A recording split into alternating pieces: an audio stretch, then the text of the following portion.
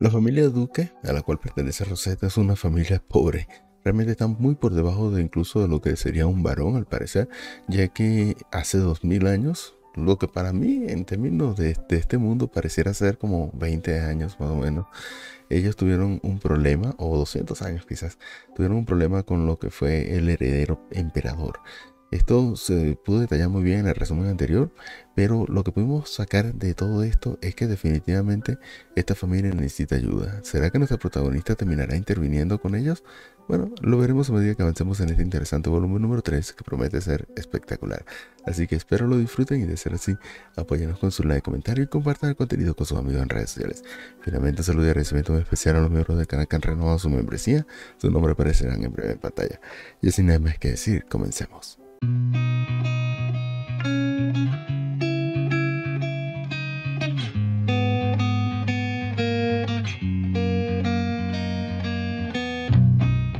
B3. C2 La hija del duque, parte 2. Rosetta tuvo un nostálgico sueño de su infancia. Un mensajero del imperio se tomó las molestias para venir y llevarla a la fiesta. Rosetta, que era muy joven, estaba muy contenta, pero su abuela parecía triste. Su madre estaba llorando mientras abrazaba a Rosetta. Rosetta en ese momento no podía entender por qué estaban tan tristes. Abuela, madre, ¿por qué lloran? Ellas sonrieron lo más fuerte que pudieron para ella, ya que no sabía nada. Sin embargo, las lágrimas se paraban de derramarse.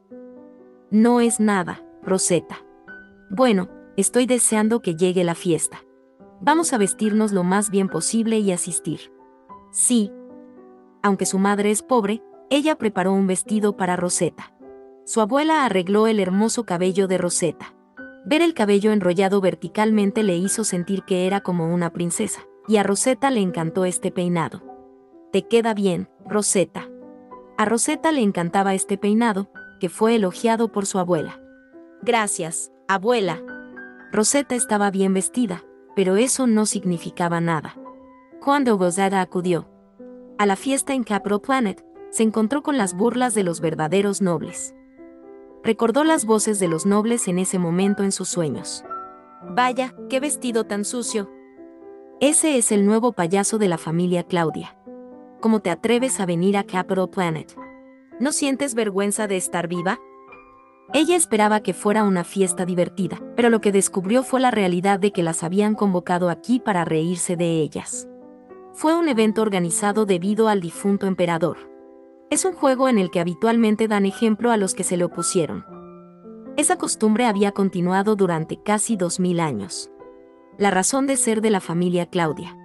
Le impresionó que cuando era niña, demostraban la cruel verdad como para dar de ejemplo a los demás. Tal acto continuó incluso después de que el emperador abdicó en ese momento. Se prolongó durante demasiado tiempo para que alguien lo detuviera a la mitad ya ni podía detenerse. Algunos nobles la miraron con lástima. Sin embargo, no la ayudaron. Si la ayudaban, estarían desobedeciendo las órdenes del difunto emperador.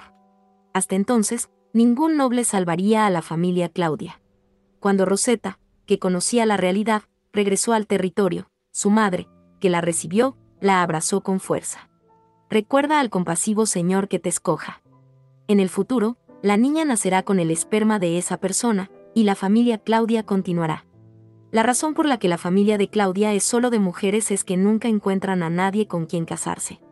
Si eres mujer, solo inclinarías la cabeza y obtendrías el esperma de un chico prestigioso. Rosetta. Debes volverte hermosa. Si lo haces, los hombres se interesarán por ti. ¿Eh? Así es como la familia Claudia ha educado a sus hijas. Rosetta supo por primera vez por qué no tenía padre en ese momento.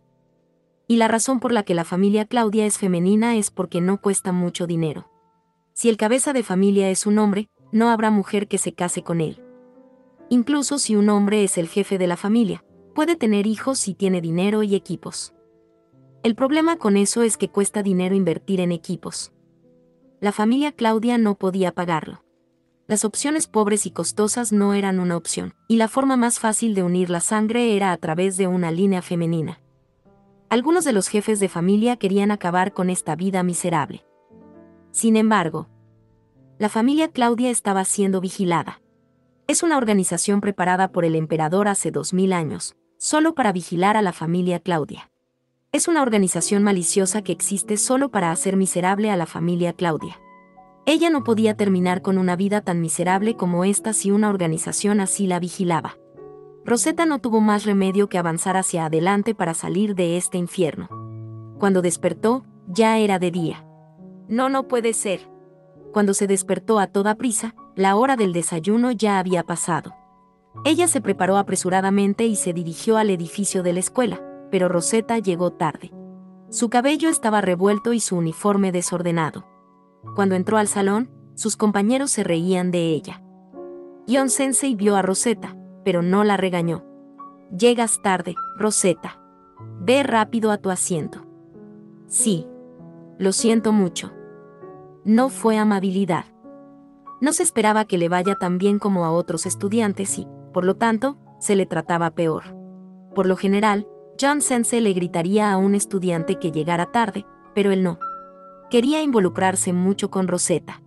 Yo también me veré miserable aquí, en los ojos de los compañeros de clase en el aula fueron de burla, misericordia e interés. De todos modos, ellos mismos la miraban como si fuera un animal raro. Ella pudo escuchar las voces de los chicos. Vieron, llego tarde. ¿Es una delincuente? ¿Qué pasa con esa apariencia? Al menos quiero que tenga cuidado con su apariencia. No, Tom.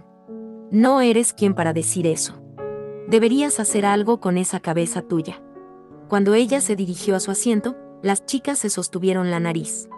Rosetta vino con tanta prisa que ni siquiera se dio una ducha. Huele terrible, ¿no? Mi nariz se dobla. Es una tipa muy tonta, ¿no? Ellas sabían que era la peor de la clase. Entonces, Rosetta pasó junto a Liam, un estudiante de honor. Banfield. Ella empezó a presionar sus molares. Liam estaba mirando a John Sensei con una cara fría. Ni siquiera miraba a Rosetta, como si no le importara a ella. Sin embargo, tampoco se pudo evitar eso. A una edad temprana, fue elogiado por sus habilidades en los asuntos domésticos como conde, y también tiene una licencia completa de una escuela de artes marciales. Sobre todo, se le conoce también por otro nombre, Liam, el cazador de piratas. Un niño prodigio que tiene todo el estatus y el honor. Todo era demasiado diferente a ella. Incluso John Sense tampoco le gritó a Liam. A diferencia de Rosetta, no había razón para gritarle a Liam en primer lugar.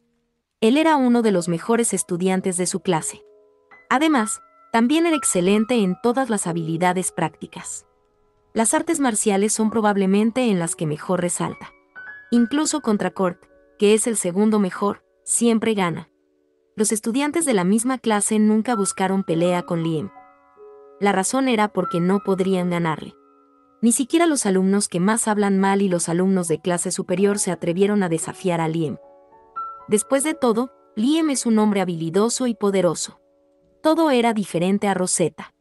Él es una persona que lo tiene todo, a diferencia de ella. Rosetta odiaba por eso a Liam y no podía evitarlo. De todos modos, no te importo, ¿verdad? Te odio porque naciste con todo. Te odio tanto que no puedo evitarlo.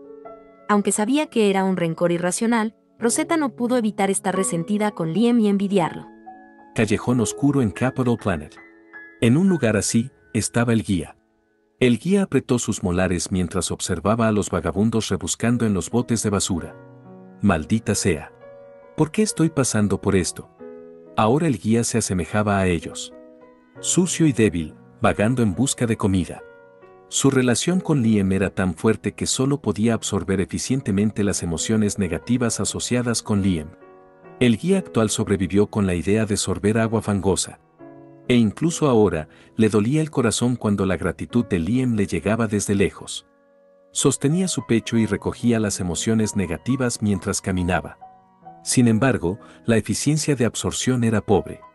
Era una situación en la que podía comer 10 y solo conseguir uno.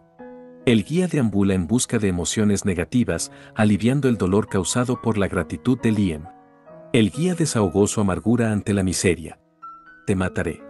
Definitivamente te mataré.